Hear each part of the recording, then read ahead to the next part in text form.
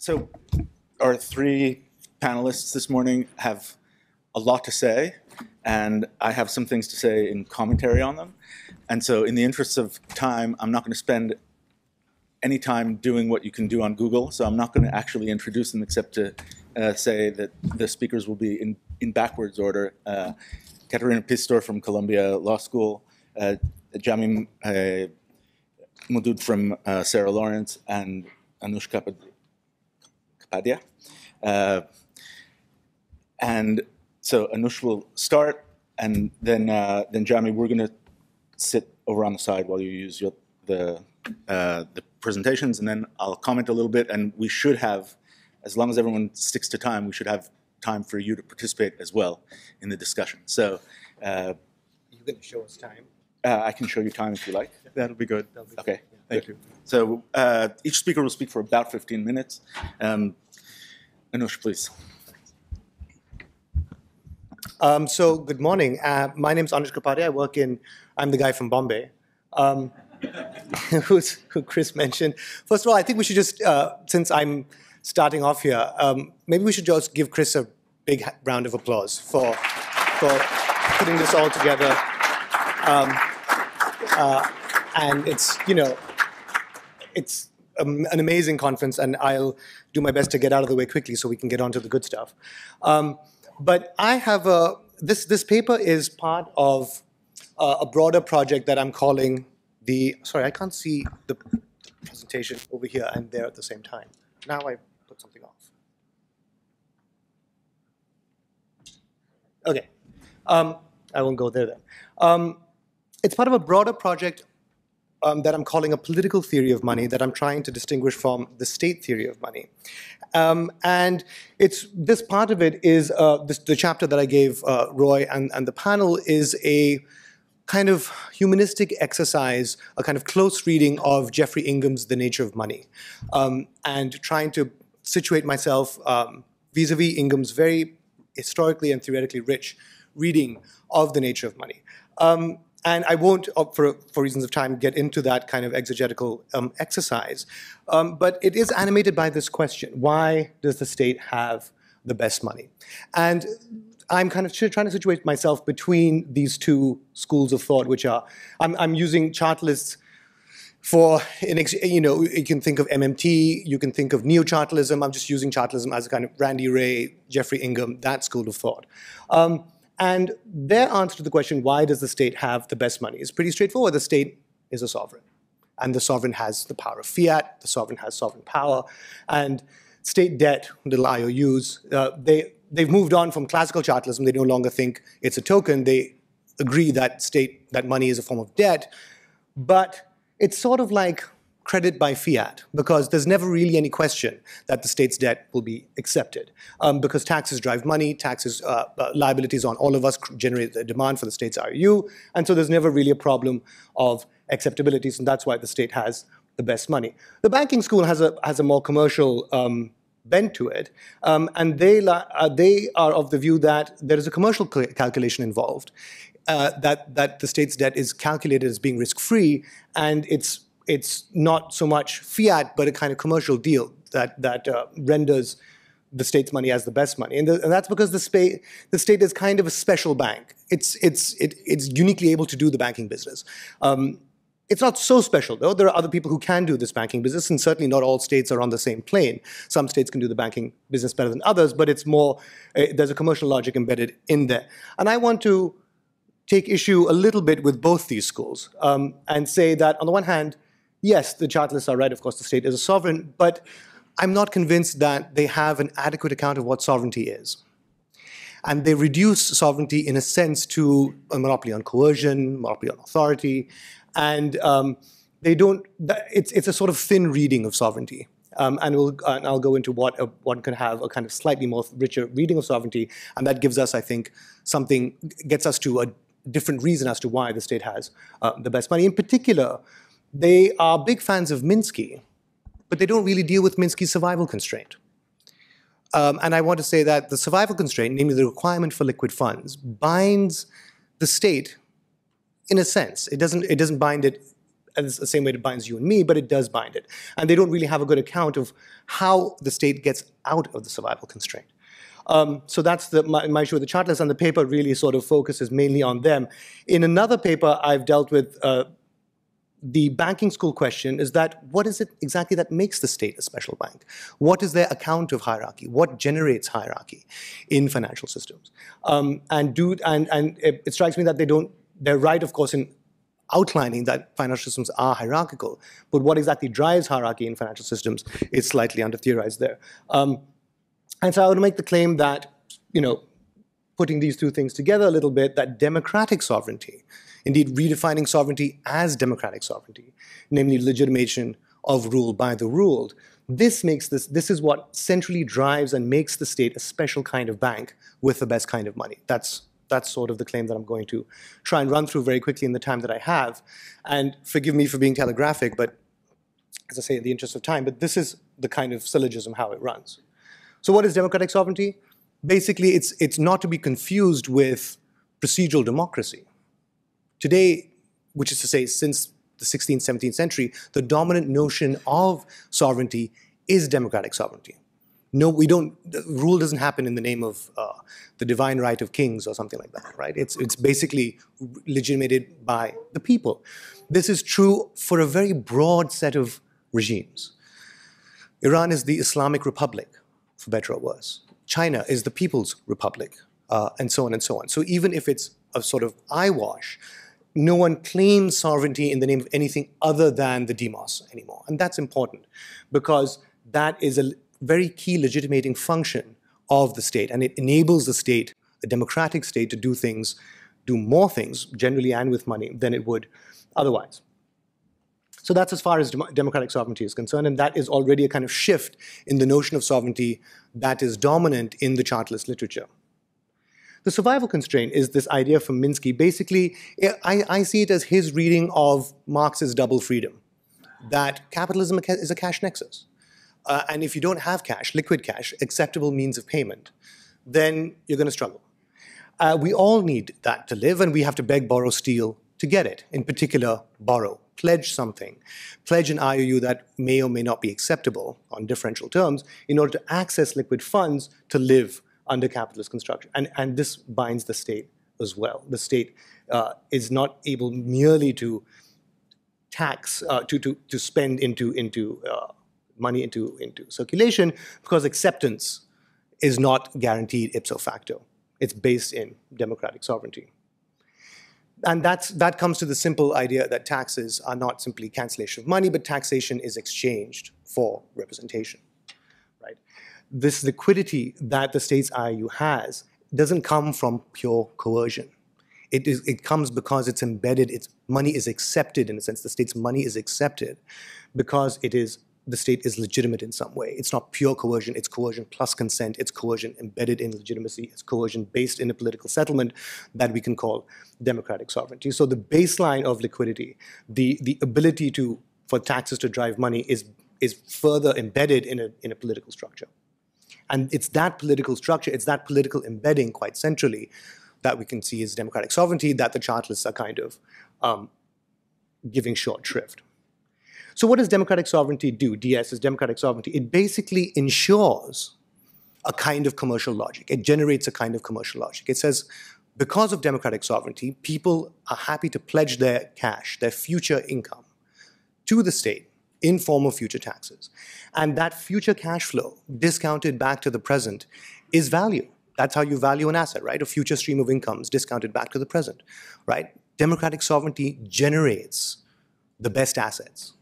So a political logic generates economic value, right? So it's, it's, it's, that, it's that commercial logic element of the banking school, but understood through a political logic, uh, namely democratic sovereignty. So democratic sovereignty gives the state the best assets, and that's why the state's IOUs are the best IOUs. The state can leverage up because its asset base is us. Right? We all pay into the state, in a sense. In, in, in Perry Mehrling's phrase, the state is a kind of social mutual fund.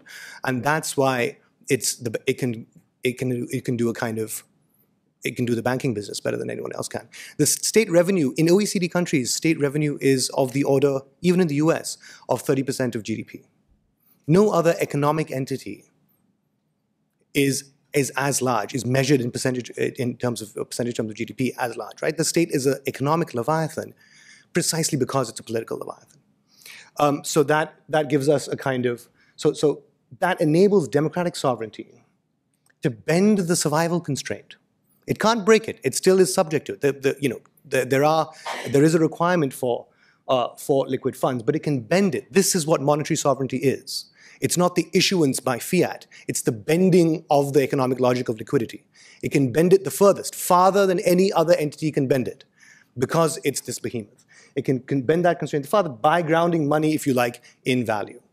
Now, this is gets us to theories of value. If you're a classical Marxist or indeed uh, uh, uh, believe in the classical dichotomy in any way, there's, there's the, this past orientation of value. This is obviously predicating value in the future. Some would call that fictitious, but that's a story for another day. This is, this, this is obviously the, the most controversial point, as it were, so I, I chose to focus on it in terms of the chartalists, right? Why is it, in what way can we seriously say that the state is bound. This is the state, right? This is the has all the guns. Like, in what way is the state bound by the survival constraint, right? And chartists will say it isn't. It really isn't. And this is why, notwithstanding their doffing their hat or more to Minsky, the chartists are really smuggling in a fiat logic into a creditory logic. Because credit is uh, is, is a two-sided. So they're like creditors. What creditors? Bond vigilantes? No, not really. If that's just ideology. Ingham says this. Uh, uh, Randy Wray says this, right? The, the, the bond vigilante idea, the idea that uh, if you spend too much, but the bond market will drop your paper and run, and you will thereby be constrained in your spending as a state, that idea is not an institutional constraint for these people. It is merely an ideological constraint because that's the rules of the game under capitalism, right? Uh, and so we just have to get right thinking on this, and then, hey presto, we'll be able to just you know spend money into existence. That uh, um, so this is sort of credit by fiat, if you like. This is smuggling in a fiat logic into this dyadic, fraught relationship that is credit, right? So you've smuggled, you've, you've kind of wished away, ex hypothesi, all the complicated, interesting political economy features of credit just with a, with a wave of your hand, which is why I'm saying it's a thin theory of politics that undergirds the chartalist idea. So credit is not fiat, credit is a bargain. There's two sides to credit, right? Um, Minsky's, one of Minsky's favorite aphorisms, of course, is that anyone can issue money. The problem is to get it accepted, right? And the problem of acceptance the very center of Minsky's concept of, uh, of uh, credit is wished away entirely because acceptance is just ruled as not an issue a priori uh, in this line of thinking. There's also a, a, a, time inconsistency problem with the state, right? The state, it's a kind of uh, consumption smoothing story where the state has to spend all the time, especially in wartime, as we, uh, as we saw the state needs money now, but taxation happens over a period of time. It's lumpy, so you need a kind of smoothing function to get you out. So the state is always in a position to borrow. In a sense, the state is always highly solvent for reasons that we saw. It has the best assets, but it's always illiquid, right? And um, and and this getting this getting the states are you accepted, as I say, is predicated in a kind of political settlement, and it is a deeply political fact. So you get this kind of politics between a balance of power, if you like, between surplus agents, and deficit agents. And the irony here is that this is exactly Ingham's account of the rise of capitalism. Capitalism, and he says it's a wholly contingent you know, uh, uh, story. It didn't have to happen this way, so there's no teleology here. But capitalism in early modern Britain happened by way of precisely such a balance of power, where you had a resurgent bourgeoisie holding up the the, the, the sovereign who wanted to spend because of war, and out of which came parliament, right? A shared sovereignty, king in parliament. Sovereignty, the very nub of the Chartist argument, was hybridized, right? It became shared. Um, but this Ingham sees as just a kind of uh, just capitalism. Capitalist money is kind of parochialized. And that confuses me. Why is capitalist money parochialized? He says, you know, this doesn't have to happen this way, it just happened, happened to happen under capitalism. But surely capitalist money is the best money we have. Capitalism isn't a historical outlier. Capitalism is the Weberian ideal type. Uh, and if capitalism is the Weberian ideal, capitalist money is the Weberian ideal type, then surely the nature of sovereignty undergirding capitalism is equally ideotypical, namely hybridized sovereignty, shared sovereignty. And that's all that democratic sovereignty is. It's just shared broader. It's just shared over, over more shoulders. Um, and that's, so, so that's a kind of the, the rudiments, if you like, of something like a political theory of money, which might be distinguished from a state theory of money. Um, a sovereign people pledge a share of their future product to the state. The people are sovereign, not the government. Randy Wray says sovereignty lies with the state. That's, the, that's, that's merely a confusion. The people are sovereign, right? Uh, uh, and they, this is a, a confusion between this, what the state, uh, uh, the sovereign and the government. The government is the agent of the people. The people, and Richard Tuck is a denizen of these parts, talks about a sleeping sovereign, right? The people may wake up only once every once in a while, but sovereignty, ownership of the state resides with them. And they can choose a form of government. Obviously, this idea goes back to Rousseau, um, which is monarchical, but it's no less democratic because ultimately the sovereignty is with, is with people. So the state, the people are sovereign, not the government, and the state is, is, is solvent precisely because the people are sovereign. The state is solvent because the people are sovereign. An, uh, a non-democratic state without the kind of catchment area of all its taxpayers paying in is, is simply not a solvent and is therefore not a sovereign. Um, so sovereign people make a state a special bank, which then um, produces the best money. Here's some uh, distinctions between uh, this kind of way of thinking and, and the state theory. Um, and um, I'll end there.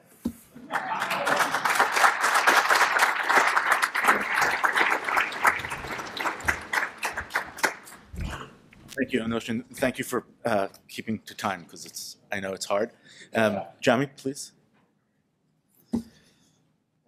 Thank you. Uh, thank you so much for coming. Thank you so much, Chris, for this uh, great event. Um, thank you all. Uh, and also a special shout out to my long-suffering students who showed up, at, some of them at 1 a.m. last night to attend this conference. Um, uh, okay, so I'm just going to get into it. Um, this is a, a big project, and it's about the story of industrialization and the mobilization of money. Um, and what I'm going to do in the 15 minutes I have is focus on one particular dimension to this to this story, which is the relationship between uh, the state and the Bank of France, the central bank, and I'm going to be focusing on from the early 19th century to the end of the Fourth Republic, which is about 1958. Now, much of the literature on uh, state-led industrialization focuses on the, on the success stories such as Japan, South Korea, and China. Uh, by studying its industrialization history from the early 19th century, uh, I chose to study uh, state-led industrialization in France because its degree of success was middling. And I'll, at the end of the talk, I'll come to why I chose that. Um, as in Japan and elsewhere, uh, France in the post-war period pursued a model of what is called indicative planning, so not central planning, but indicative planning, in which the state played an extensive role in promoting export-led industrialization. I argue that the challenges and achievements of the, in, of the post-war period uh, to promote large-scale firms can only be understood in the context of its previous monetary history. I focus on the politics of money in general and credit in particular because there's an established literature, and I'm specifically thinking here about Alexander Gerschenkron and, of course, Joseph Schumpeter, uh, that has stressed the role that an elastic supply of credit is absolutely central uh, for progressively greater outlays of, uh, of capital, fixed capital. So following uh, contemporary authors such as Chris, um, uh, Desan, and Omarova, and Hockett, and Ricks, and others, my framework assumes that money is fundamentally a public good. Since capital accumulation is by definition the accumulation of money, uh, and politics acting through the law is central to business investment, this is the general consensus, uh, in this literature on state-led industrialization, it necessarily follows that the politics of money is also central to the story of industrialization, definitionally true. That is, in order to understand a particular type of industrial experience, uh, we need to ask how is money created and how does it flow give, to give rise to markets? What are the political and legal foundations of markets? It must be said at the outset that before uh, World War II, French industrialization was not overall an exemplary success story, since even as late as the 1930s, uh, British, German, and American firms dominated global markets. With the exception of success in certain sectors, overall French industry was reliant on retained earnings, and this is a really important point, was reliant on retained earnings instead of bank credit for, for investment finance. That necessarily restrained their ability to benefit from uh, exploiting economies of scale and scope. So in this talk, I will primarily focus on the Bank of France, which was, of course, at the heart of the banking system.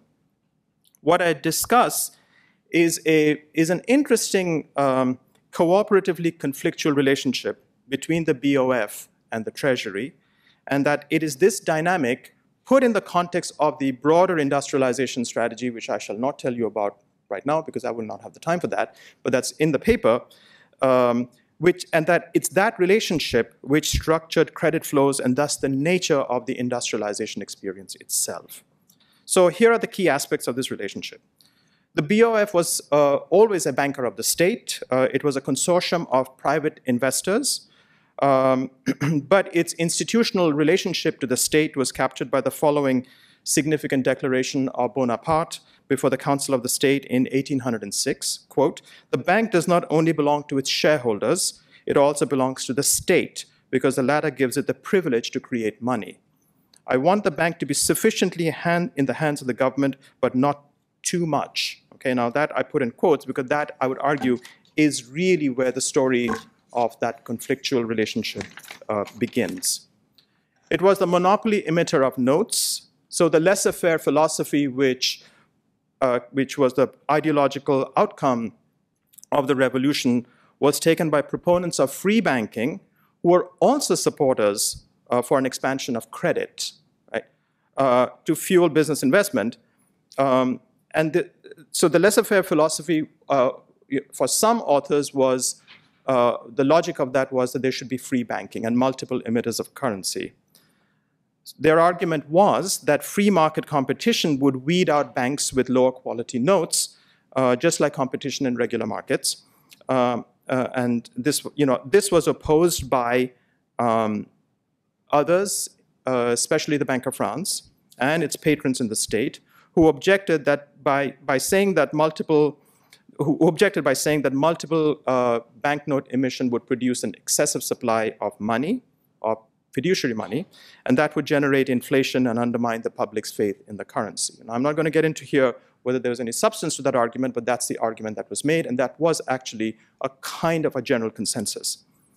So here's what happened. Uh, the BOF's hegemony was reinforced by being granted the legal, legal privilege um, of being the monopoly uh, emitter of currency of banknotes after 1848. Before that, it was, uh, it was restricted to Paris. But this was not a permanent privilege, um, since it was subject to periodic renewal. Uh, and this renewal was, uh, was then like the proverbial sword of Damocles that hung over the BOF, reinforcing the political power of the state. So the government had already determined the precious metal content of coin, and then by conferring legal status to the BOF's banknotes, uh, the value of the, of the franc was determined because the government spent and taxed in that currency, which is a familiar story to those of you who have studied this kind of stuff in other contexts. At least until the mid uh, 19th century, the state, uh, with active support of the Bank of France, was quite successful in maintaining tight control over the banking sector uh, and thus the supply of credit. Um, there were restrictions on the granting of limited liability, so Société Anonyme, uh, which restrained the growth of banks and, and, and therefore non-banks because the supply of credit was somehow restricted. And it was only really in the uh, very important legislations in the 1860s that in the wake of, of these legislations that there was liberalization of uh, the limited liability notion, and there was heightened supply of credit and concentration in the banking sector. Now, significantly, all sides, including those who supported an extended credit supply, uh, uh, they, they, they were supportive of a convertibility between, the, between banknotes and precious metals. So Article 5 of the Statutes of February 13, 1800 specified the need for prudence in terms of the relationship between the maturities of the BOF's banknotes and its stock of precious metals. Now, this last point is what I is I think is the basis of what I call a governance conundrum. Okay, clearly the BOF, private investors, they had to be kept satisfied, and this meant allowing them to pursue their monetarist inclinations. This meant that control over the this meant that there had to be some sort of control over the supply of credit. And yet, industrialization and infrastructure creation, um, for example, railroads, in which the, the, French state embarked on a massive scale in the 1830s, 1840s, that required an expansive supply of credit. So credit supply needed to expand, and yet it needed to be kept within bounds. And you can see the issue right there. So what, so what we then observe is that this conundrum culminated in a kind of an uneasy compromise that I think is well captured by this following observation by the historian Jean Bouvier, and maybe some of my French-speaking colleagues over here can make sure that I translated this right, um, who said that um, the fiduciary emission flow, being more stable, accompanies the growth of the metal stock, but always stays above it at variable distances. The metallic guarantee of paper currency, a relationship which was supported at the time period, does not imply a full coverage of the latter by the former. However, the growth of metal reserves supported the growth of banknotes at the same time as the latter related to the rise in market transactions engendered, which engendered the growth of metal reserves. So what he was implicitly pointing to here, so if you look at the chart on the left, that shows from 1806 to 1913, it shows banknotes and it shows metal reserves. Uh, the right-hand side is the natural log. So the slope of a natural log gives you the percentage change.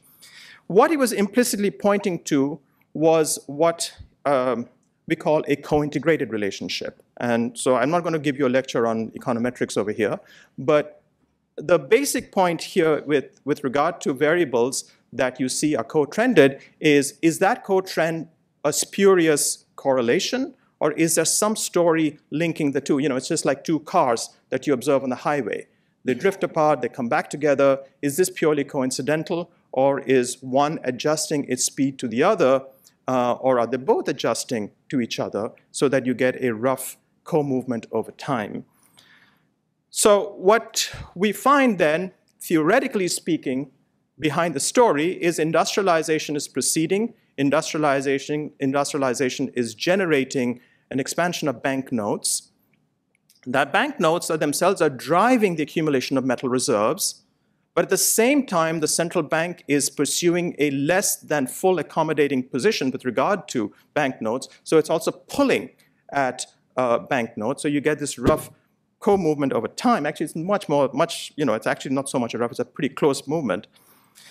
Um, this implies that there had to have been a continuous inflow of precious metals, gold and silver, but primarily gold, into the country uh, via the balance of payments. Um, so the politics of international capital flows becomes a really crucial part to this story. Um, the other part to the conundrum was that the Bank of France was not at a liberty to raise interest rates as it wanted to in order to attract capital because the state required interest rates to be low and stable. So somehow this stuff was coming in in order to fuel industrialization. Um, and I suggest, I don't get into that in, in this paper, but that's another future paper, is that the question of mining and gold flows and silver flows from the periphery, from the colonies, which I think would be familiar to many of you, was, uh, was a crucial part to the story of industrialization in Europe, right? So this, of course, Marx talks about this, others have talked about this. Don't get into that here, but that's an interesting implication here. Flash forward uh, to the late 19th century, 1897 extended the note issuing privilege, but also deepened the bank's obligations to the Treasury. But the bank was not a passive absorber of governmental diktats, not surprisingly, given that the government had to incentivize it for it to be even in business. But the conflictually cooperative relationship began to become more, um, move more in the direction of conflict um, as we proceeded into the 19th century and certainly uh, into the 20th century. Um, and th that conflict became much more acute in the interwar period. Um, by the 1930s, many forces on the left, actually that started earlier, were, were demanding the need for economic planning or dirigisme and the democratization of credit. Opposition to the BOF's political power increased quite dramatically. Uh, there was growing recognition, especially in the 1930s, that the political power of the bank was suffocating attempts by the government uh, to implement radically new policies that required greater political control over the flow of credit. In short, newer political measures were needed to overcome the power exercised by the bank and other banks. So in the Great Depression, some important organizational changes to the bank were brought up, including those that reduced its operational autonomy quite significantly, but, and this is an important point, it was not nationalized. This is a really important, even by the Popular Front, the left coalition that was elected in 1936, Léon Blum, its uh, administration. So, but taken together, what we observe is that in this period from the end of the, well, beginning of the First World War into the Great Depression, and certainly after the war, into the war, the Second World War, um, there were a series of political changes that eventually defanged the, um, the central bank. And so you see on the left the um, the story fall apart, the, the relationship fell apart, the co-integrating relationship fell apart. And interestingly, when the whole model changed after the Second World War with the nationalization of the Bank of France and uh, a very export-led industrialization, very technocratic, productivist way uh, of organizing uh, industry, again, we see at least into the fifth, into the Fourth Republic, again, that co-integrating relationship appear. So what we see then um, in terms of Duncan Kennedy's uh, classic article on Hale, that over time, what we see is a gradual destabilization of the background laws underpinning the, uh, the, uh, the central bank, and that eventually led to its full nationalization and the creation of a new kind of development model after the Second World War. Okay, conclusion. So a persistent theme in this paper is that money was always treated as a public good, as much so after the Second World War as way back The dirigisme, so economic planning, intermingled with laissez-faire all the way through, whereas the conventional view often is that the dirigisme was only after the war and it was laissez-faire before. I would argue that it was always intermingled.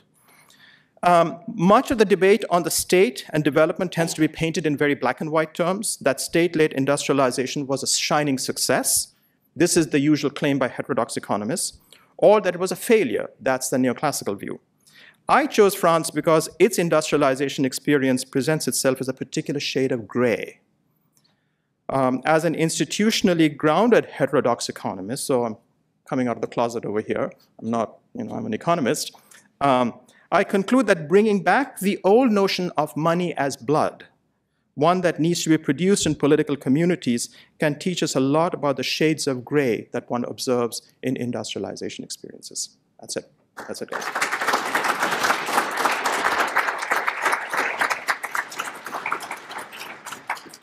Well, thank you very much. Good morning, uh, everyone. Um, and first of all, thank you, Christine, and all the organizers for putting this great event together. And thank you um, for having me here. Um, as you saw, if you see the title of my talk, it's called um, Capital Rules by Law. So the unit of my analysis um, for this talk and for the book project from which, which, this chapter has been drawn is capital rather than money, and I will make the connection um, in a second. Let me just um, say in broad terms where I want to go. So uh, um, I think I want to complicate the, the, stories that you've just heard, including Christine's presentation up front, by bringing two things in. One is um, private institutions of law. Um, Anush has spoken about contracts and credit, but I want to go a little further and talk about other um, institutions of private law that have been critical in coding capital, including debt or credit as one of the core capital assets that we have. And the other complications that I, that I want to um, throw in is, is globalization.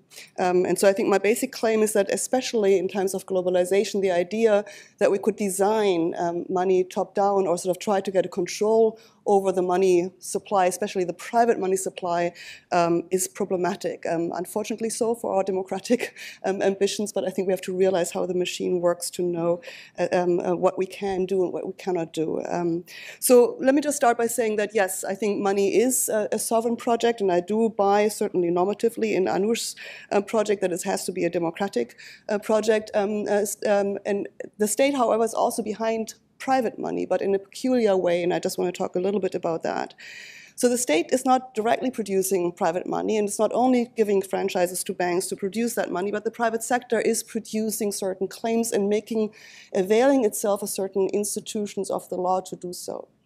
So very simply put, I'm basically arguing in, in my book, which is called The Code of Capital, is that um, capital is coded in law has always been coded in law. And, um, and what the institutions that um, we have used for centuries to code capital are contract law, that's sort of the easiest, but it's property, property law, collateral law, trust. The common law trust is critical, corporate law, and bankruptcy law. Um, and these institutions are um, malleable and they are changed and adapted and transposed and grafted onto different assets, mostly by lawyers on behalf of certain types of clients. It's a highly decentralized project that avails itself indirectly of state power, but not necessarily directly. You don't need ex ante approval to do so. All you need is a state or an agent of the state, a court, to vindicate the coding process ex post facto. And you don't even need that all the time because if it's assumed that this is legal, and if you do it in a way that is similar to ways in which other assets had already been capital, um,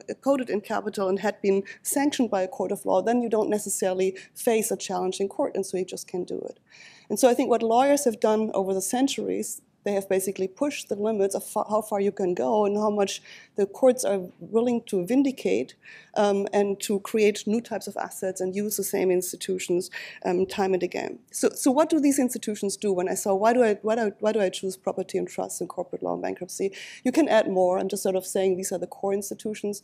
What they really do, and that's why we also need the backing of the state, is that they graft certain attributes on simple assets. So take a simple asset, a piece of land, or take, take even a simple asset, a claim that I have against any one of you.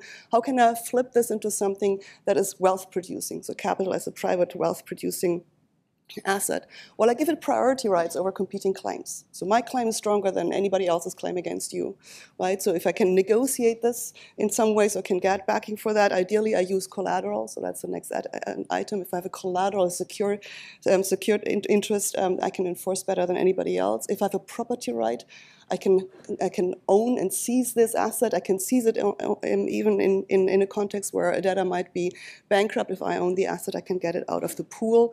So in some, some ways, I, am saying bankruptcy is a wonderful um, asset test to see um, what assets really um, have value against others. And, and, and because in bankruptcy, of course, by definition, you don't have enough assets to satisfy everybody, so you can look at who gets priority, who has ownership gets priority, who has secured assets gets priority um, over others.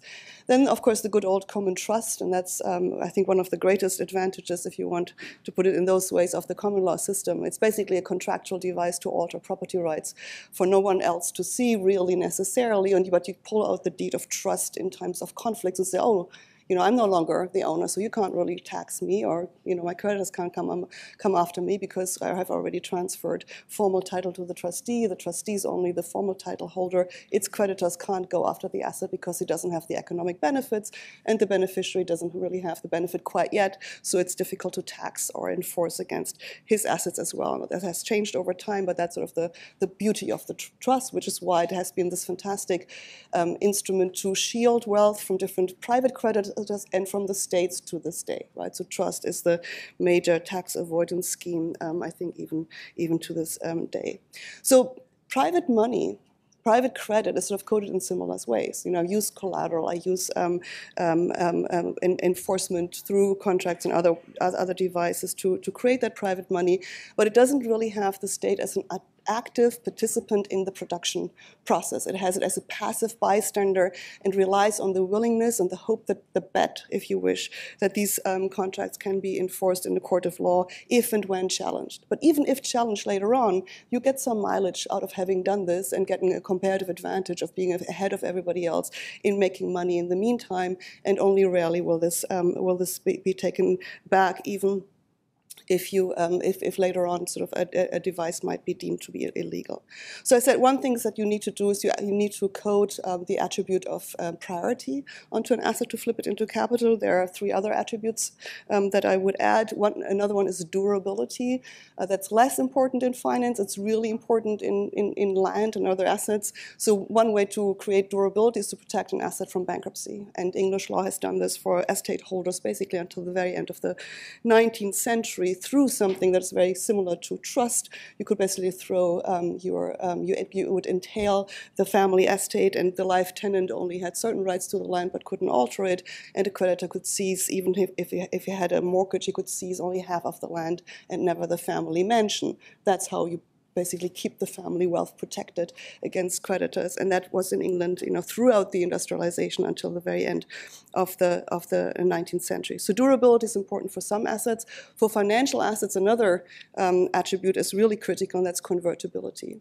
And convertibility is not only that I can assign or transfer my interest, but convertibility means I can flip it into a state money, right? I have an option to, uh, to, to flip my, my private claims, which might not have much value um, anymore, and I can flip it into state money. The beauty of that, I saw Morgan already here, the, um, the, the beauty of that is to say that the state sort of protects the nominal value of my asset. So I can lock in the value that I have made in the past by flipping it into state money.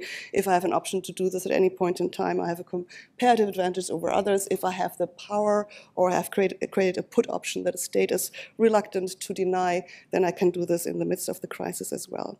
Um, and then finally, we need universal enforceability. That's where the state really comes in. So if in doubt and I really need to have enforcement, then I um, can make a claim against others who have never been part of the game, right? So it's not only contract, contracts I bind myself vis-a-vis with persons I've really contracted with, but with property rights and trust and corporate law and bankruptcy law, I basically create claims that will be enforced through coercive powers if necessary against third parties who have never been part of the game. That's the beauty of these types of legal devices, and that gives them the kind of power. Because they are in private hands largely, and um, sophisticated laws, lawyers have honed their skills over centuries on how to um, use them. There's a parallel process to, to the top-down process that is going on, and that's quite powerful in creating these kind of assets through all these various devices that I had um, um mentioned. So that's the private um, law part of the story that I think is sort of it's, it is a it, it, you can tell it as a purely domestic story. You can even um, complicate it by saying if you have regulatory competition as you've had in the United States because it's a federal system, and most of the laws I'm describing are actually in the hands of the states in this country. So you can sort of push the limits by basically transferring your transaction into an, another state's law, right? You just opt into another state's law, and since this has been sanctioned as part of interstate commerce protected by the Constitution, you can actually play one legal system them off against each other at that, at that level. So, so that's, that's quite powerful. Now add to that globalization, right? So what we've done, been able to do through regulatory competition within the United States for centuries now has become possible at the global level. Because many states, and so at the global level, again, I think most of the action is in private law, so it's in national law, but the beauty is that you can opt into certain national laws. So the global system, I would sort of, as a hypothetical, you could say the global financial system could be uh, coded in a single domestic legal system as long as all other states respect and enforce the legal rights that are being created under that legal system. Um, in fact, I think we have two legal systems that sustain our global financial system. That's the law of England and the law of the state of New York, um, if you think of it from a private law perspective. Most globally traded financial assets are coded in one of these laws. Most law firms who do this stuff sit in London or, or, this, um, or, um, or, or, New York, and of course, most of the banks who um, issue these assets um, sit in these two uh, places as well. So once you put, put this in, in place, and so there's no, you know, there is of course some globalization, there's some treaty law that you need for this as well, and that and lends additional power to it. I will come back to the New York Convention in a second. But when, once you add um, in the possibility to opt into different legal systems, how do you do that? Conflict of law rules, right, and mutual recognition. Um, and so, but I think most of one of the most powerful is really conflict of law rules and the shift that we've seen over the last 30 years to give a lot of um, uh, umph to private autonomy used to be that contracts, yeah, you could opt into the legal system by which your contract shall be governed for a very long time. But um, today it's, of course, possible to opt into corporate law, right? The, um, the seat, the real seat theory is pretty much out of the window. We say incorporation, a corporation which is a creature of the law, it's created by law, it doesn't exist outside the law, but uh, most states will recognize a corporation if it has followed the rules of the state in which it has been incorporated. Without that, things like tax havens in the Cayman Islands, etc., would be much more complicated. Of course, you could use uh, maybe the trust as well, but the trust is not as widely recognized as the corporation, for example, um, around, uh, around uh, the globe. So through these mechanisms, we basically have a situation, and I'm only, only slightly overstating it, that if I think of it as a lawyer and I want to create a financial asset, a new sort of form of a CDO, CLO, just securitize some assets, I basically have a menu of, of tools. I have my trust, I have my corporate law, I have my, my collateral, my property rights, my contract, and I basically pick and choose from the legal systems, like a menu in a restaurant, which I will use for a particular type of transaction to code um, the interest of my, of my client clients, backed by the assumption that these interests will be protected not only in a tiny little jurisdiction such as, let's say, the Cayman Islands or even the state of New York, but that I can trade these assets globally because most other states will recognize these contractual devices and lend their enforcement powers to them. Um, and just one in, um, additional thought on the enforcement, um, enforcing, um, um, um, so courts might, might hear these cases and enforce them. Many of these private transactions are increasingly not brought to courts, but handled in private arbitral tribunals. And for that, we have the beautiful New York Convention on the Recognition and Enforcement of International Foreign Arbitration Tribunals awards, which basically says that members of this convention 180 plus countries around the world, will not review the merits of the tribunal's rulings, but will lend its coercive powers to their enforcement if brought to their shores and if there are any assets in that particular um, region. Through that, we have basically created a private enforcement regime where the courts are no longer the guardians of the law, but simply the executioners of um, the rulings that private arbitral tribunals um, um render. So I think if you, if you think basically at you know the production of capital, in particular money capital, um, in our days, we are we're living, of course, in the in the in the age of um, uh, um, financial capital and, and global financial capital. If you look at it bottom up from this particular perspective, you see how complicated it is just to regain control over these processes.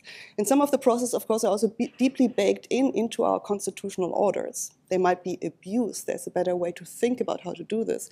But we have private property rights, right? So once certain types of claims have been recognized as private property rights, including expectations to future returns, which courts have recognized as private property rights, it's much harder to dislodge them even at a domestic level.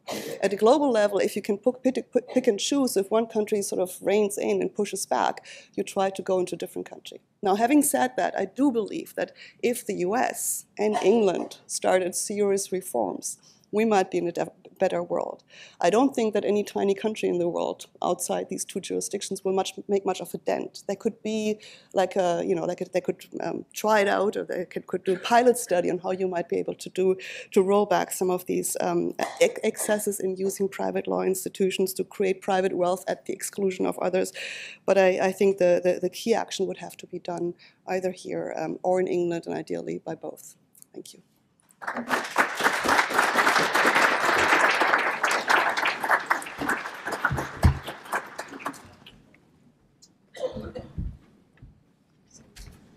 Great, thanks.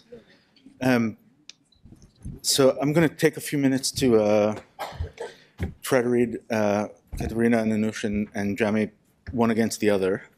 Um, uh, with each other and, and against each other. I mean, uh, in a sort of soup, uh, trying to trying to talk about these three uh, papers all at once in in a short amount of time is is a bit of a mean trick, but I'm going to uh, give it a give it a try. So uh, the, I've had the pleasure of reading uh, Katharina's book, not only the the chapter, um, and so I'll try to use that more or less as the frame to talk about about the three presentations. Um, and I, th- I think one of the ways to think about the book is in the context of the literature that's uh, been so influenced by, by Piketty's Capital in the 21st century over the last few years. Uh, that book took up one strand of historical evolution in Marx, uh, according to which class antagonism plays out in economic struggle, where capital extracts surplus value from labor in a progressive manner till you get to a crisis point. Um, Piketty pointed to an economic logic that was compatible with Marx's analysis, but located slightly at a different level of generalization. The dangerous part of the logic, according to Piketty, was that capital increases, or the returns to capital increase uh, faster than growth, and meaning that means that capital holders will progressively capture most of society's output, or more of society's output than anybody else, and they leave the rest behind, and that generates dangerous social effects. Um, the problem with, with Piketty's book, I think, for, for a lot of,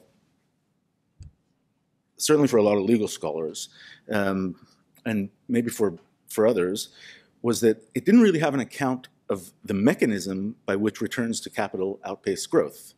That is, that was posited as a sort of iron law and economic law. Uh, there, there were exceptions, but they came from bursts of technology or war, uh, things that were sort of outside outside the frame, exogenous shocks. Um, and for the last few years, I think certainly in the in the legal academy, what a lot of people have been doing is trying to look for ways to think about the mechanisms for that kind of thing happening to the extent that it, to the extent that you believe that it's that it does characterize uh, long periods of long periods of development. Um, now, Katharina's book, The Code of Capital, uh, I think offers answers to some of those some of those issues, and they're at least as unsettling as the insights that are offered by by Piketty. In fact, because the book takes seriously the mechanisms by which capital accumulates, rather than seeing that accumulation as a result of some black box or economic logic, it actually puts a spotlight not necessarily on the entire historical process, but I think a spotlight on, on what's really special about the last 40 years. That is, what what's become the most important dynamic in global financial capitalism, the capitalism that we uh, that we live in, um, and how the that how a particular set of mechanisms uh, really accelerate uh, to the point where we might be in a situation that's significantly different from uh, from the past, um,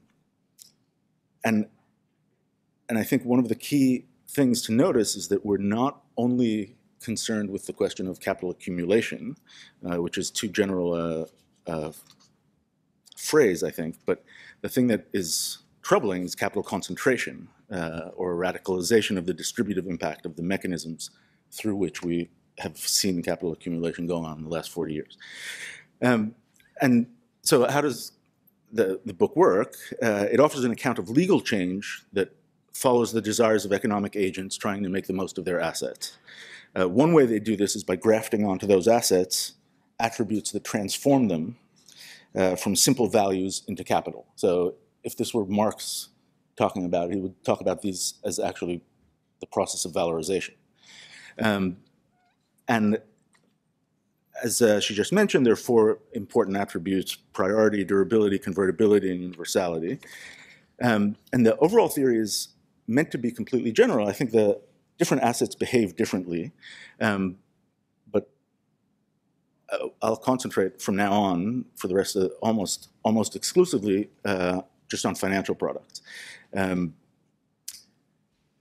and the changes that lawyers are trying to make to financial products in order to turn them into capital uh, are actually exactly the kinds of things that that economists talk about when they talk about safe assets.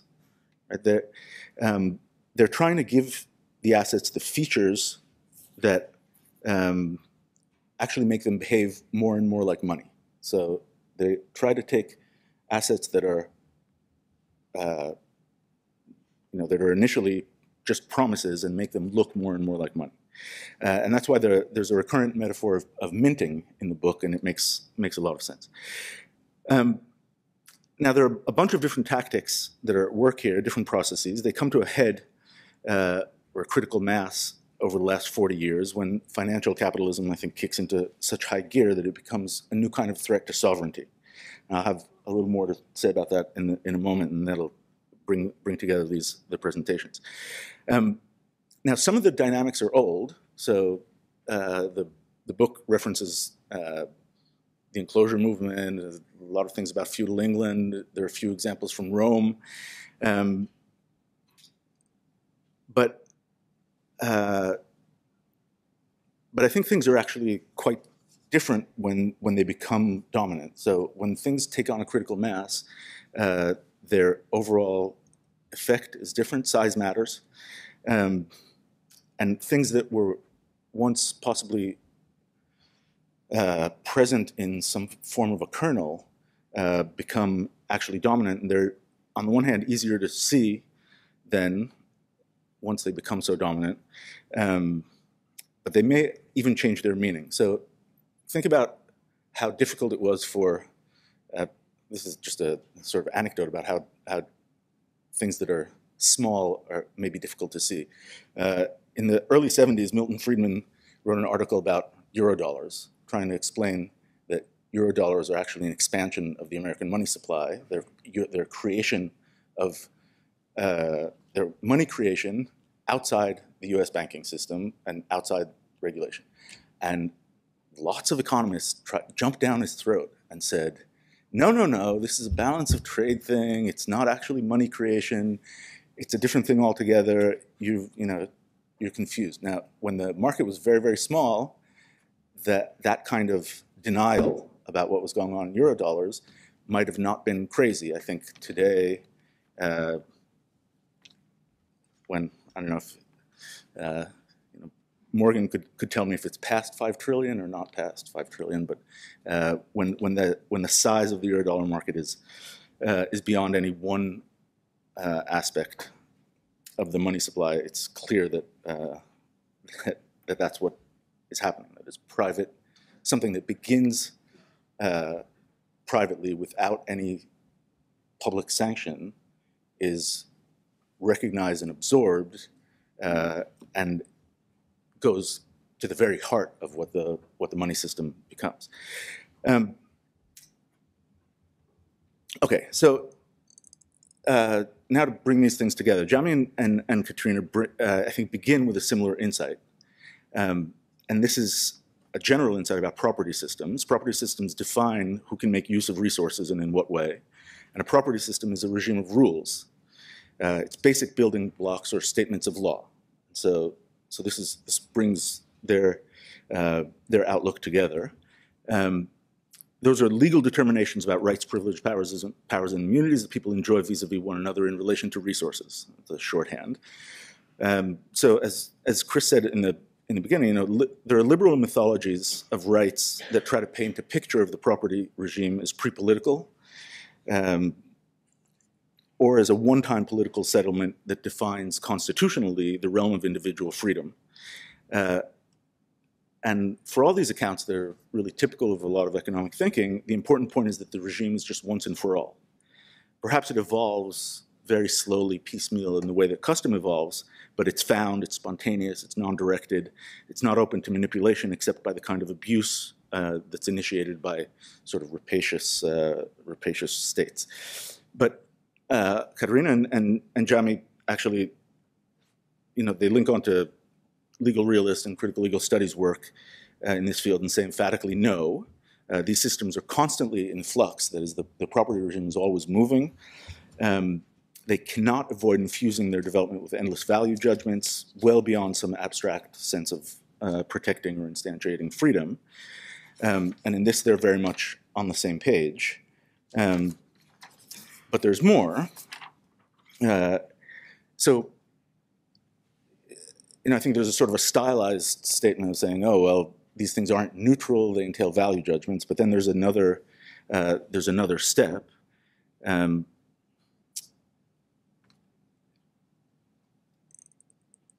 and and here's where where I think things get uh, get interesting and controversial. So in in Katharina's vision, people who have assets direct their lawyers to improve those assets along the lines of priority, durability, convertibility, and universality.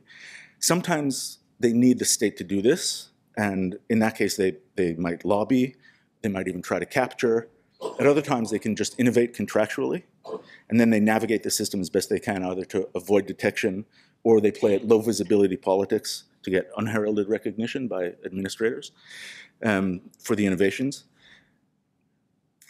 And this, this kind of piecemeal action to change, to change the system, this kind of playing for the rules, is especially powerful when the resources in question are more abstract. So why is that? Um, for, for these assets, there's really no fallback without the law. So if you buy a cow as an investment uh, and the legal system falls apart, you can still drink milk and make cheese. Um, but if your legally backed power to enforce a contract or collect a debt falls apart, uh, you have nothing except your, you know, unless you have other other ways of persuading the person who owes you, uh, you don't really have uh, much at all. So abstract property needs better protection. And, and here you can think about what kinds of, how clumsy old forms of protection, right? So if you, if you wanted to make a very big loan in the Middle Ages, uh, what did you do to take collateral? You took a hostage, uh, which is really expensive and cumbersome and uh, uh you know, not, not, a, not a fun system. So, so you, the, the centrality of, of, uh, of having some kind of legal backing for, for your abstract obligations is really crucial. Now, it turns out that for the last 40 years, this, this dynamic of trying to gain uh, better legal protection is um, more and more important. And this is not only because abstract assets are a larger portion of total wealth, it's in part because of that, but also because of the transnational element with the ability to choose your locale at the press of a button. Um, so this is also an old dynamic. Uh, in the 18th century, people already realized that, that if you had assets, if you had paper assets, you could move around and you could escape, uh, you could escape you know, royal authority uh, better than if you uh, better than if you had land. Um, but uh, but I think now it's a dynamic that's on steroids. So uh, states compete to attract business, just as they compete. So just as they have tax competition, they compete regarding legal rules and legal enforcement, uh, not just with each other, but also with for-profit arbitrators. So what we see here, and this is this is this is where the three of you I think come come together, um, is that actually three of the most basic aspects of sovereignty uh, are, for the past 40 years, maybe a little longer, under greater and greater challenge. Uh, so three different things. One is the claim to be the ultimate enforcer of, of legal norms, uh, because the parties can choose, pick and choose their legal norms. The second is the prerogative to tax, because strong parties can choose their domicile for tax purposes. And third, the sole right to mint money, because as shadow banking or the eurodollar market indicate, uh, state banking regulation lets actually a great deal of money creation go on beyond beyond the ambit of its uh, of its clear institutional frame. So now in those in those terms, this begins to look a lot like like Anush's Anush's claim, right? Sovereignty isn't simply uh, unchallenged coercive power. Uh, it's power, and power always meets with resistance, almost by definition. Um, it's often, if not always, negotiated. Sometimes the ostensible monopoly on violence is not the most important, certainly not the sole factor in what people will actually do. Um, but so so there's a commonality there in the in this in the thinking, but I think that in other ways, Katharina and, and, and Anush are more at odds than in agreement. So highlighting the idea that um that coercion isn't uh, isn't enough seems uh, necessary. But the jump to the conclusion that any resistance to pure state action uh, translates into democracy seems to be an aspirational idea, but not one that uh, does a lot of work for at least at least with the word uh, with the word democracy as as, as people use use, it in an in a normative sense. Um, now, Katharina, on the other hand, suggests that when private actors act to change the code, they're actually often undermining democracy. Um, there, there is sort of a sharing of power in a system where the authority holder has to negotiate a settlement with those from whom uh, she expects to tax, or more directly, those with whom uh, she intends to, with those that she, uh, you know, wants to have her money taken by in spending. Um, but there's no sense in which that that bargain must, right, there's no necessity for that bargain to be a democratic bargain. Uh, so I, I think in general, what happens is the, the negotiation over the shape of that bargain is, is dominated by, um, by people who have resources. Uh, certainly in the, in the story that Katharina tells, it's dominated by, by players with a lot of market power and people who are who are rent seeking. Right, they're concentrated interests uh, that today I think uh, it, would be odd to, to consider them as as democratic interests. Um,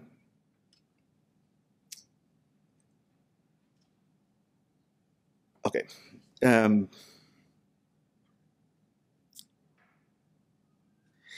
this this raises another issue about what the extent to which the state is like any other party. Um, so Anush says it, that uh, that the state is seeking uh, a form of, of liquidity. Um, that is, in a sense, he always sees it even when it's spending as a borrower. Um, but if that's true, I think that it's that uh, it's not borrowing funds at that point right? It's borrowing in the sense, right? When the, when the state spends, it's taking, it's taking some other kind of consideration, right? The government spends by taking goods and services in return for its money, not by borrowing money. So the, so the government can do two different things. It can borrow money or it can spend money. Uh, both could be seen as taking on obligation, but they're not exactly the same. So the government does need to generate acceptability, uh, without which it can't spend if people won't actually uh, give it what it go, give it what it wants for money, then it won't be able to spend. Uh, that seems still different from being subject to the same liquidity constraint as other actors. Uh, now, this might seem like a, a, technical point, but I don't actually think it's it's completely technical. I, I actually think that uh, it is important to see why the state is not just like another bank, and uh,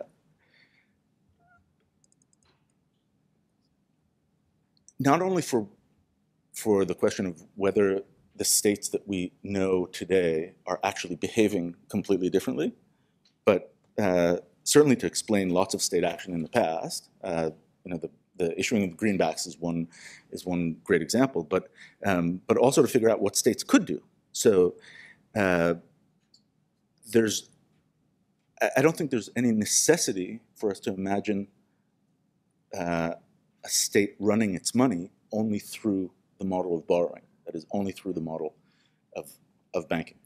Um, right, because, because in some ways that flattens or erases the very basic difference that, uh, that I think is actually worth holding on to in sovereignty, right? The idea that, that the state can obligate before, that is ab initio, the state can, the state can obligate out of nothing um, which the banks, I think we can say thankfully, cannot. Um, now, I think this the the contrast between uh, between sort of a unified autocratic uh, sovereignty versus a dispersed market. That if that's the if that's the distinction, then then the latter, right? A dispersed market sounds like democracy, and if the only thing that you could have in the world was either a true autocrat with smallholders as clientele, uh, that might make sense. But I think in our world where sovereignty is actually fragmented, where there are excellent opportunities for capture, and where the market, or at least market forces, represent a lot of highly concentrated wealth, then the uh, equating the the demos with the market is is a is a problem. Um, okay, now two last issues. Um, and one is one draws straight from a comparison between between Katharina and, and Jamee. Uh, so Katharina's emphasis is on the way that private actors uh, are really the motivating force, the driving force uh, for change. Um, and in, in Jamee's pre presentation, it seems like the complete opposite is the, is the truth. Public officials, uh, at least sometimes, play a crucial role as first movers. And this came, came through in, in Chris's uh, introduction as well. Um, and it's especially true where the change, at those junctures where change isn't piecemeal uh, or incremental, but rather monumental. So general incorporation statutes, establishment of national banks, unification of monetary systems, um, uh, major shifts in the basis of currency, and maybe even bailouts. These are all instances where, where public-minded people in constitutional conventions or in legislatures or in executive positions actually take the lead in shaping fundamental market institutions. Uh, so this still accords with the idea that the legal code enjoys a kind of primacy in creating and developing capitalism, but it takes some of the edge off the claim that change is primarily driven by private rent seekers. Uh, private rent seekers seem particularly important as the anti-heroes for the last 40 years, I think. Um, but I think as a, as a general formula for, for capitalistic development, they might be, uh, might be less central. Um, but we could flip things a little bit and turn this into a question for, for Jamee's. So there are lots of things in Jamee's paper that say functionalism is, is, not, a good, is not a good theory. Uh, there are a lot of references to a lot of critical work that, that attack functionalist histories. Um, but when we get into the analysis, it seems like there's a lot of, that function or necessity is actually doing a lot of work. And, and especially the necessity of certain governance outcomes. So uh, and and there's a real puzzle about how open-ended uh, things are and how open-ended, uh, uh, how many of the results that you uh, that that Jamee finds are actually could have come out the other way, including things like the monopoly on note issue. So there there are sentences in the piece that say the monopoly on note issue was actually a foregone conclusion. It was part of unifying the currency. It's unimaginable that a state would have multiple uh, multiple currencies, multiple ways to pay debts, and and I think one of the things that we see over the last 40 years is that states are actually possibly pretty loose about their monetary sovereignty.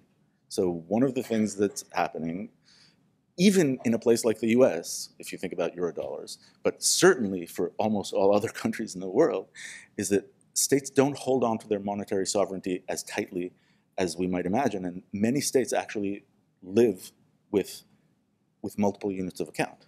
It's not unimaginable. Um, okay, so I want to I want to finish up because I've taken up a lot of time, um, and I want to sort of ask if we if we were to put these three presentations on a map of how how monetary politics works. Uh, I think for Jamee, the state leads. Uh, its governance considerations dominate. Uh, they're in they're in hybrid relation with with the private, although the private in your story is really the Bank of France, which is not uh, not your typical banker um, in in any way. I mean, right? This is these, these are bankers who are worried about too much credit. Uh, that that should signal to everybody that they're not the typical private bankers. Um, for for Anush, states are basically market actors with a slight edge, and their limitation is uh, their limitation is sort of um, definitionally democratic. And for for Katharina, private actors dominate by writing the Code of Capital as part of their attempts at rent seeking. Now, these seem to open out onto different horizons for change. Katharina seems very pessimistic about the past, but somehow in principle, possibly optimistic because the code is constantly being rewritten. It may be hard to chase private actors, but if we tool up, maybe we'll just get better at it than, than, uh, than a lot of bankers. It's, there's certainly many more of us than there are bankers, right? So um, that is, there's, there's certainly many more people who are not, uh, you know, who don't necessarily share the interests of the 1%. And, okay. Um, so, so in principle, there could be something, there could be something uh, optimistic about that. Um, and the, that kind of possible optimism, I think, collides with Anush's uh, somewhat metaphysical account of, of money through capitalism, that is, the capitalist money being the best money. So I'm not sure that I understood where uh, that was heading, but it seems to me that it uh, posits almost as a necessity that uh, that states actually have to outsource money creation, um, and and that we actually have to have banks to consider what money really be nationalized bank. really is. So, okay, so this is this is this is a this is a good issue for for discussion. It just seems to me that there is uh, it would be possible to constitute a money system, and one that I could imagine as being more democratic uh, through um, through a system that wasn't necessarily uh, profit oriented in its money creation uh, money creation uh, activities. And so the, the last thing I'll say, which will take one minute, is that um, I think that one of the interesting things about these presentations together is that they show that the closer uh, we get to the core of valuation, uh, the bigger the effects, uh, the bigger the effects on our democratic lives can be. Right. The the the reason that valorization is such an important thing is that it turns into the way we value everything else. And so writing the legal code of, of property is, is important even for cows, but it becomes much more important when the thing that we're coding about is, is the kernel of how we make value for everything else. Okay, so we have left ourselves uh, very little time for discussion, but we can have some discussion, right? Yes. Uh, Okay, I was pointing behind you, yes. I think there's a mic here. Okay, uh, this is a question for Anush, and uh, so you pointed out that the survival constraint of states in a fiat banking system exists, but is weak. Yes.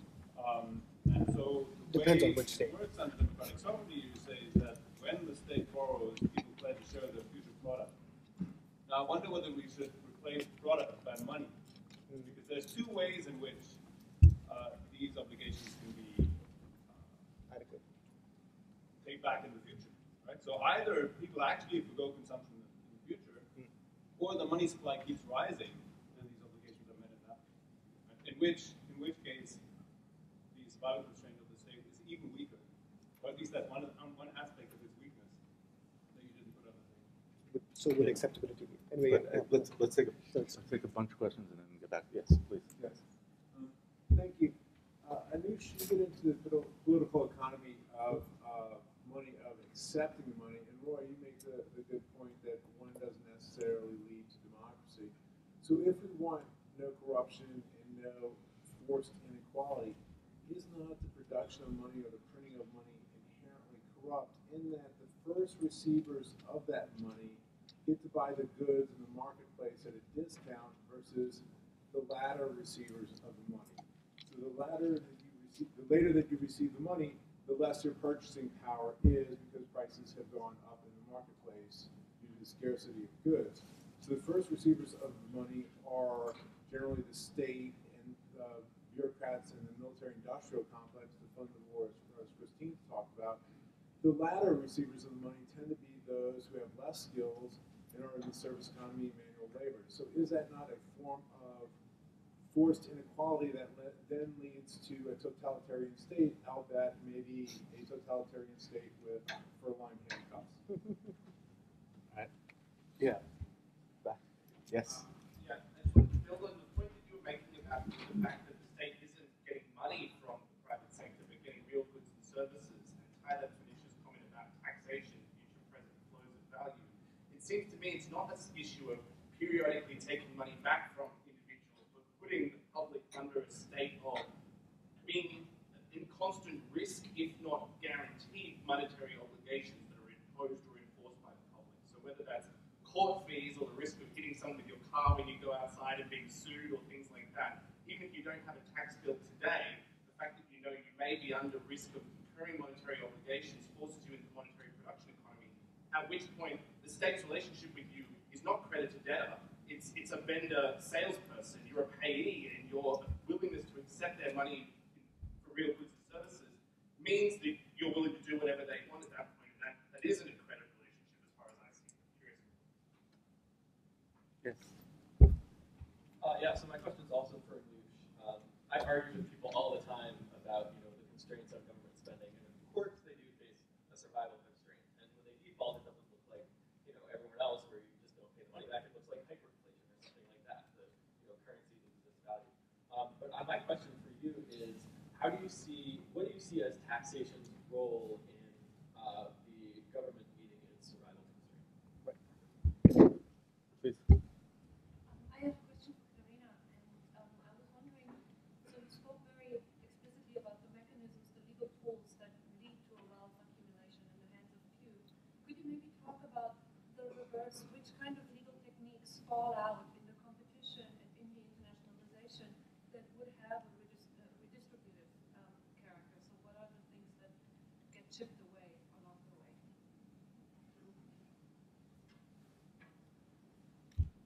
I have a general question. Uh, Roy concluded using the word value and values and valorization. And in my listening to the different papers, the word value and forms of it are actually quite distinct and used differently. And uh, no doubt that word will keep coming up in the course of the conference. Uh, so I, I'm asking for each person to clarify uh, what they mean by the term. Um, and you put it in quotes. Uh, so This one in the back, So, one in the back. yes, in the back. And this is also uh, for, it's a comment, as one of the early contributors to the revival of neochartalism, I do want to correct the impression that we are wishing away political constraints. One of the earliest distinctions that we made was between broad and specific propositions of chartalism. And the broad propositions are those that carry through historical time, but the specific, uh, specific propositions are the ones that are historically and politically contingent. So from the very beginning, we have been very engaged in the question of power and what is this relationship between state and sovereign subject. And so here, the constraint on the government, I should also say that chartalism does not originate in Minsky, but uh, you know, in Knapp, despite Minsky's really valuable contributions, um, you know, chartalism has a you know, more from the German historical school, uh, legal school. But I just want to say that um, the constraint on the government, right, is not a liquidity constraint. That's been some of these comments here that we've been hearing, but it's really a constraint about acceptability and, you know, rethinking this relationship that is inherently coercive between state and its subject. So as I understand our project here is that we're trying to figure out how to democratize this very relationship in this particular point in time to be able to employ the public first for the public purpose. Okay, so maybe, maybe we'll take one, one more and, and, and then, uh, yes, please. A question for Professor Mahmood. Um, it seemed like you framed it in the beginning with the interesting question of why was French capitalism um, more constrained by uh, retained earnings, and that it seemed like you were uh, pointing in the direction of a central bank that was too parsimonious with credit, too tied to met- metallism.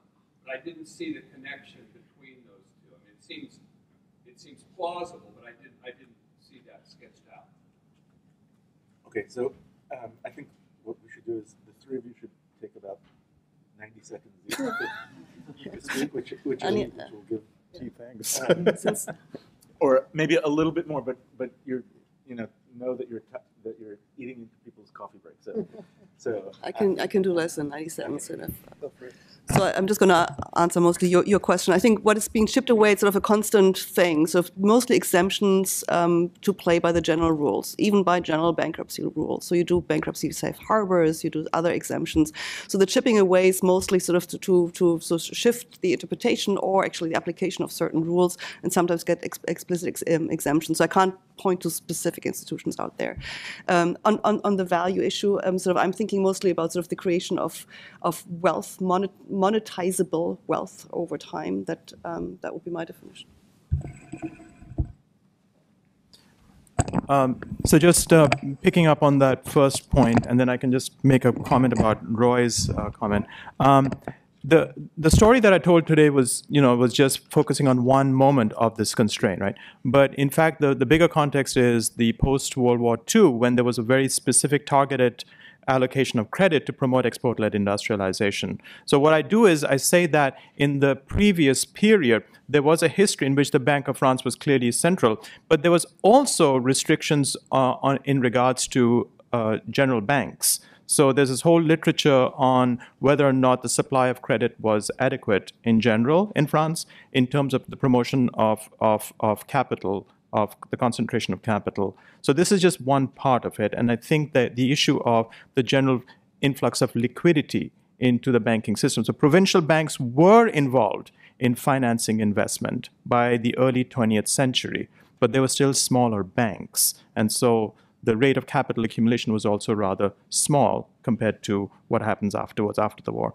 Um, on, on Roy, you know, do we think about governance as functionalism? And the answer is I don't think so. I mean, I think that what was happening over here was an attempt at governance, which in fact did not really work terribly well. So it's not as though that the state had somehow foreseen the fact that you need XYZ policies in order to promote exports. And I think this comes back to the issue of sovereignty, which is the sovereignty really comes, I would say, uh, from having access to foreign exchange. And that really was not very well done until after the Second World War. So it was governance, but it was not functionalist in the sense of efficiency, if you want to think of it in that way, because it was ridden, it was riven with, with politics and the political power of the BOF. And just one final thing, which is that I think we need to be a little careful in not using bankers as some sort of a homogenous category. So in the case of France, uh, we had, there were some bankers who wanted to actually promote uh, expanded credit supply. In fact, I make that point quite clear, right? Um, but then there, you had others, including the Bank of France, who were sort of more monetarist inclined, and they were concerned about. So there was all, there was there was tension between the two sides. Um, so I don't know it's on. Um, so thanks for the questions, and, and thanks, Roy, for your um, uh, very keen observations. I think you're absolutely right that the more dematerialized the value gets, the more, or the asset gets, the more, you know, salient the, the legal binds are. Um, and I guess perhaps I should clarify. For me, I don't think this democratic sovereignty point is a normative point at all. It's completely a positive point. And it rests on the following claim. How do we legitimate taxes? That's, that's basically what, what now, that's, I don't see the method by which we legitimate taxation. Um, namely, in the name of, we rule in the name of the people, we legitimate it in the name of democratic sovereignty. I don't see that, as, as the lady uh, said, as um, a contingent political fact. That is axiomatic. We don't have, in the modern period, another ground for legitimating governance. That's not available to us. And where that exists, that's an outlier. That's clearly an outlier, you know, the Kingdom of Saudi Arabia. Now, of course, contingently, that, that can be more or less of an eyewash. That can be more or less uh, hollowed out. That is deeply a matter of political contingency, right? Uh, and tax havens are precisely a hollowing out, just as the shadow banking system is precisely a hollowing out of a kind of democratic sovereignty, absolutely, as a matter of practice. But no one, as a matter of legitimating claims, uh, makes any other statement, any other way of legitimating taxation. That is a constraint. That, that is a political constraint. They are states are forced to legitimate their taxation in the name of democracy, in the name of a kind of of, of a demos, and that, in a sense, gives the more it does that. In fact, the more the, it's bigger its taxation catchment area is, and therefore its ability to bend the survival constraint is, is more or less. So the survival constraint, in a sense, acceptability, the survival constraint are the flip side of legitimacy, if you like, the banking school rendition of the idea that the old Weberians saw of the state being having the legitimate monopoly on violence. Legitimacy is not just an eyewash, right? And, and, and it becomes more or less shop-worn depending on the ebb and flow of politics, but it is absolutely axiomatic. So I don't see that as a normative claim. Um, I see that as, uh, as a statement of, of, of how the world works and how it gives states differential power. Now, uh, so it enables the state to inhabit the logic of banking in a, in a, with, with, an, with an edge, is what I was saying. Now, um, one way I think to link up to what Katharina is saying is clearly there has been a effervescence uh, in, the, in the recent past of private money claims. But in terms of your list of attributes, um, one potential pinch point between the different levels of the hierarchy, public money and private money, is uh, universality and convertibility, right? So when you move, when we move from capital to money, we are in a sense moving from the asset side to the liability side, and the and what what banks want to ensure, what private banks want to ensure, is that their money, which is li- private liabilities of the banks, are convertible for state money, right? And that gives us, that gives that makes this big 10,000 pound gorilla that we all have, namely our state, that gives us leverage. Because the terms on which we can uh, sanctify and, and, and you know, do convertibility, which of course then leads to universality because we're not carrying around private claims in our pockets, we're carrying around state claims.